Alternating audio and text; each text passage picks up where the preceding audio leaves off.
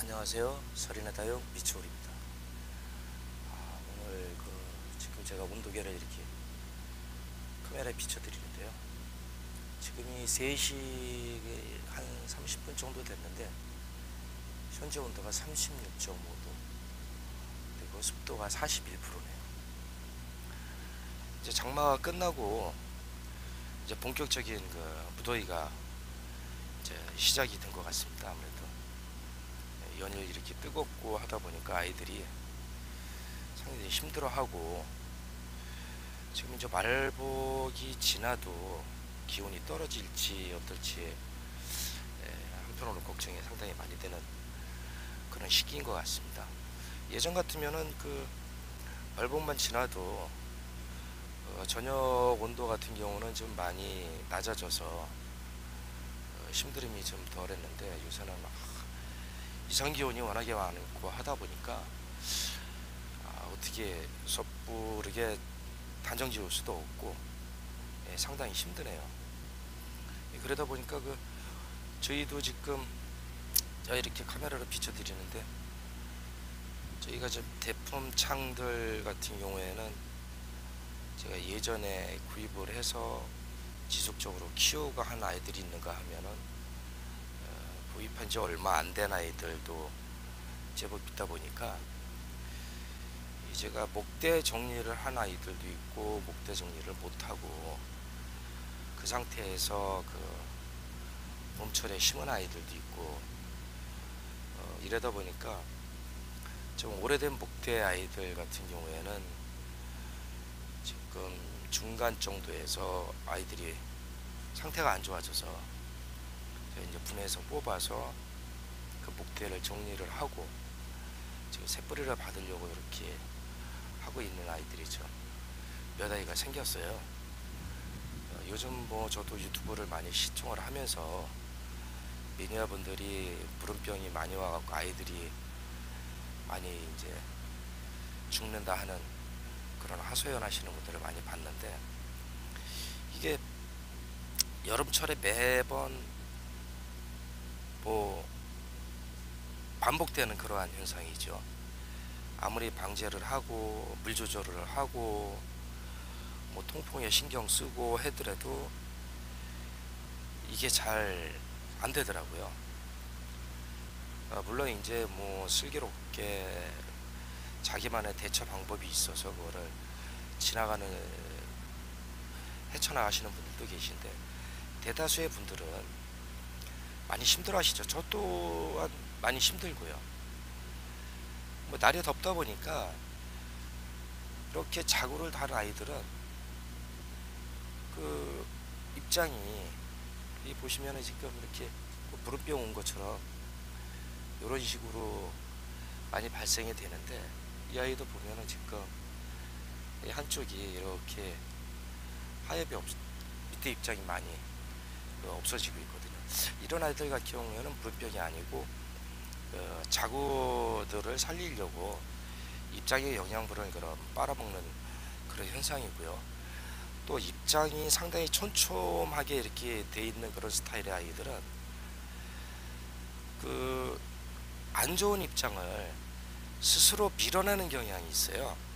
너무 촘촘하다 보니까 약간 도태된 그런 입장의 아이들은 자기 몸을 살리기 위해서 스스로 그 입장을 그 밀어내는 경향이 있는데 그런 경우도 그 물음병보다는 어, 그러니까 좀 취약한 좀 건강 상태가 안 좋은 아이들이 이제 그 밀려나는 그런 상황이니까 염려를 안 하셔도 되는데 또 제가 이렇게 보여드리면은 이렇게 아랫 입장이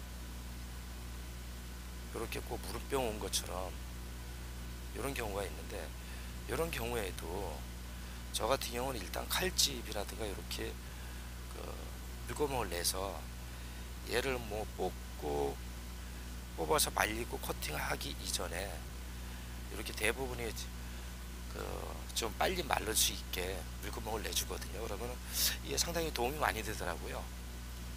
근데 그렇지 않고 한 가지 그 조심해야 될 것은 중간에서 또 밑에서 어, 물음병 온 것처럼 입장이 그랬을 때 그거를 가능하면은 입장 사이에 입장과 입장 사이를 유심히 그 입장을 떼어내고 보시면서 목대 사이에 혹시 까맣게 타 들어갔는지 예, 그런 여부를 좀 확인을 하- 해주시는 게 상당히 좋다고 생각을 합니다. 그쪽에서 그냥 자연스럽게 밀어나는 현상이라든가 자기 자구를 살리기 위해서 아, 얘네들이 영양분을 갖다가 어, 빨아먹기 위해서 아니면 자기가 살기 위해서 입장을 갖다가 물을 안 주니까 도태시키는 경우 같은 경우에는 괜찮은데 실질적으로 그런 경우도 있지만 물음병이 와서 중간에서 물러서 입장이 예, 물음병이 온 것처럼 그렇게 되는데 그럴 때 입장하고 입장 사이를 자세히 보셔가지고 목대 쪽에 그 고목해 변한 게 있는지 여부를 에, 보셔가지고 그거를 빨리 캐치를 하신다 그러면은 바로 뽑으셔가지고 그런 현상이 있으면 바로 뽑으셔가지고 과감하게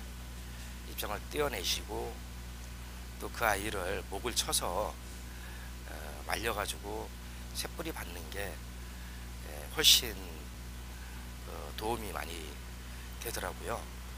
이거를 뭐 제가 전에도 말씀을 드렸었는데 아까워서 하루만 더 보자 하루만 더 보자 이렇게 하다 보면은 요즘에는 날씨가 워낙에 그 뜨거워져 갖고 습도는 이제 많이 잦아들었는데 기온이 높다 보니까 기온이 높다 보니까 이 그 균들이 더 활발하게 움직여요. 이게 균이 활발하게 안 움직이고 손산할 때는 그런 현상이 생겨도 천천히 관리를 하시면은 뭐 지금 보다는 더 확실하게 에, 살릴 수 있는 시간적인 여유가 있었는데 지금은 워낙에 얘네들이 날씨가 뜨겁다 보니까 그런 현상이 생겼을 적에 아차하면은 저녁에 보고 그 다음날 아침 되면은 생장전까지 예, 그런 그 줄기를 타고 올라가서 먹어버리는 경우가 상당히 많습니다. 지금 시청하시는 분들이 집에서 키우시는 분들은 그래도 어, 하루에도 몇 번씩 다육이를 살피시고 보시면서 어, 관리를 하기 때문에 괜찮은데 키핑장에다가 두고 어, 일주일에 뭐 한 번, 두 번 가서 이 아이들을 보시는 분들은 그 시간적인 여유가 없기 때문에 더 많은 아이들을 갖다가 어, 병에 의해서 보내버릴 수밖에 없는 그런 상황이거든요.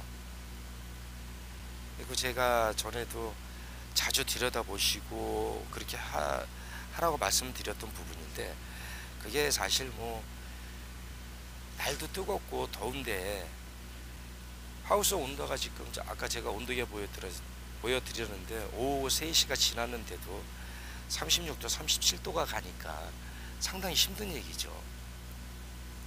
그렇지만 얘네들을 그냥 방치를 하면 더 빨리 병이 걸리고 죽기 때문에 그거를 막기 위해서는 그래도 시간을 좀 더 내셔서 하나하나 아이들을 갖다가 좀 살피시고 어, 뒤돌아보는 게 그래도 어, 예쁘고 소중하게 생각하시는 다육이를 에, 놓치지 않는 그런 일이 아닐까 이렇게 생각을 합니다.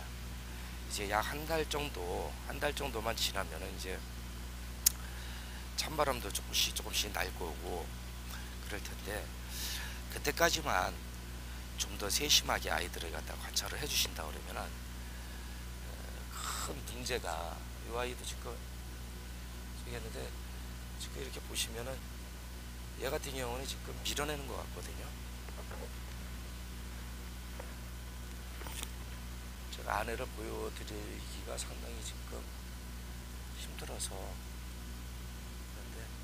제가 이 아이를 떼고 아래 목대를 보니까 목대는 깨끗했습니다. 요런 경우 아까 제가 말씀드린 것처럼 좀 도태되고 좀 약한 아이 그런 아이를 이제 밀어나 밀어내는 예, 그런 현상으로 보이거든요. 제가 이 아이를 꺼내서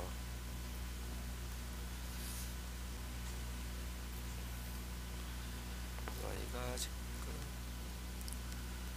제가 여기서 입장을 뺐거든요.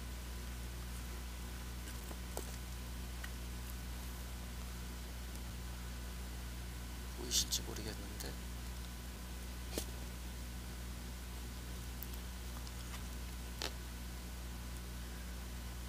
네 보시면은 맑게 하얗게 돼 있어 가지고 좀 특별한 일은 안 생길 것 같습니다. 그러니까 보시면서 이렇게 이상하고 그러면은 입장을 빼 가지고 그 부분을 그 입장 끄트머리를 보신다든가 이 부분이 병균이 감염이 돼 있을 경우에는 까맣게 까만 흔적을 남기거든요. 그러면 이게 목대하고 연결되어 있기 때문에 뭐 목대 부분까지 이런 균이 침투를 해서 어, 문제가 생길 수가 있습니다. 뭐 이런 경우에는 뭐 큰 문제가 안 되는데 뿌리 쪽에서 그냥 한순간에 아니면 꽃대를 타고 들어가고 한순간에 병균이 침투를 하게 되면은 예, 온도가 높기 때문에 그 번지는 속도가 상당히 빠릅니다. 그래가지고 대처하기가 상당히 힘들고 하는데 예, 아무튼 좀 더 많이 관찰을 하시고 그리고 오래된 아이들일수록 묵은 아이들일수록 좀 더 세심하게 관찰을 하시는 게 예, 좋다고 생각합니다. 제가 아까도 처음에 말씀을 드렸는데 어, 금년도 어, 한 6월 전에 구입을 해갖고 분에다가 안착시키는 아이들 그런 아이들이 그 좀 어린 아이들 같은 경우에는 지금 뭐 잘 자라고 아무 탈이 없는데 저 오래된 묵둥이 아이들 같은 경우에 그 무름 현상이 발생이 돼서 아, 다 커팅을 해갖고 지금 말리고 있는 중이거든요. 그러니까 젊고 어린 아이들도 신경을 많이 쓰시겠지만 그 아이들도 신경을 쓰시고 좀 오래된 아이들 오래됐으니까 건강하겠지. 아, 이런 생각은 조금 지양하시고 오래된 아이들일수록 저는 더 세심히 관찰할 필요가 있다고 생각 볼 필요가 있다고 생각을 하거든요. 그리고 아, 분갈이를 하실 적에 오래된 아이들은 그 가능하면이 아니라 최소한 2년에 한 번 정도는 새뿌리를 받아주시는 게 상당히 좋습니다. 완전히 목대를 제거를 하고 새뿌리를 받으셔가지고 어, 심어주시면은 그 아이들은 또 약 2, 3년간은 또 건강하게 어, 자랄 수가 있거든요. 그러니까 그걸 지속적으로 해주신다 그러면은 큰 문제는 안 될 것 같습니다. 네, 오늘은 제가 하우스에 있으면서 너무 더워가지고 여러분들께 뭐 이렇게 좀 저도 잘 못하면서 방송을 켜가지고 좀 이런 부분에 대해서 이렇게 해주시면은 도움이 되지 않을까 해서 방송을 켜게 됐습니다. 예, 오늘 영상은 여기까지 마치겠습니다. 그리고 날이 너무 더워가지고요. 예, 건강에 그 많이 신경들을 쓰셔야 될 거예요. 아마 저도 어, 시원한 물도 많이 마시고 그렇게 하는데 예, 물도 많이 마시 많이 드시고 어, 좀더 건강하게 그렇게 지낼 수 있도록 아, 부탁드리겠습니다. 예, 오늘 영상 여기서 마치겠습니다. 감사합니다.